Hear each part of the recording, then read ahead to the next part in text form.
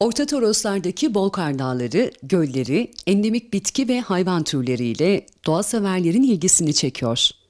Kampçıların ve trekkingçilerin uğrak yeri olan Bolkarlar'da sadece Türkiye'de bulunan 3000'e yakın endemik bitki türünün yaklaşık %10'u yetişiyor.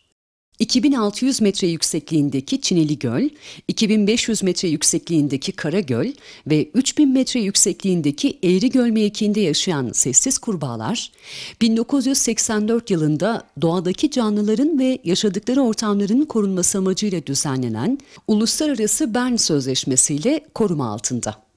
Sessiz kurbağa popülasyonunun devam etmesi için geçmişte bilinçsizce atılan balıkların tutulması 12 ay boyunca serbest.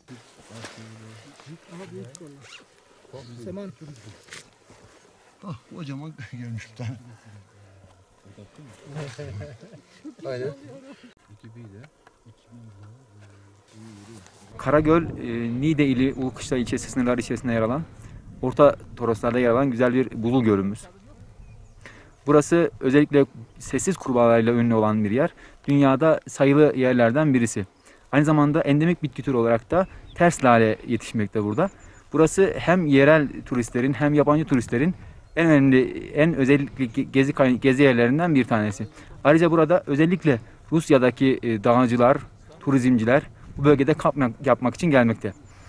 E, Burası 20 Mart e, tarihinde, 20 Mart 2021 tarihinde Cumhurbaşkanımız tarafından birinci derece sit alanı ilan edilmiştir. Buradaki kurbağalar da koruma altına alındı. Daha önce burada bilinçsiz bir şekilde balık üretimi, üretmesi, üretilmesi anlamında balık bırakılmış. Bu kurbağa popülasyonunu olumsuz etkilemekte. Ancak bununla ilgili çalışmalar başlatılmış. Balıkların avlanarak popülasyonun azaltılması yönünde bir uğraş var. Bunu da en kısa sürede inşallah sonlandıracağız. Karagöl e, ve Çinili Göl son buzul döneminden kalmış e, buzul göllerimizden bir tanesi. Ve buradanın en büyük özelliklerinden bir tanesi dünyada sadece ötmeyen kurbağanın Rana Hotsi'ye ev sahipliği yapması. Bu özelliğinden çok da e, dolayı da çok fazla ziyaretçi e, buraya e, çekiyor.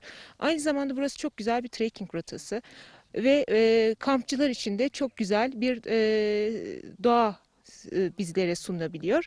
E, Eğer kamp yap burada kamp yapma fırsatınız olursa da gece çok güzel bir samanyolu e, sizi bekliyor.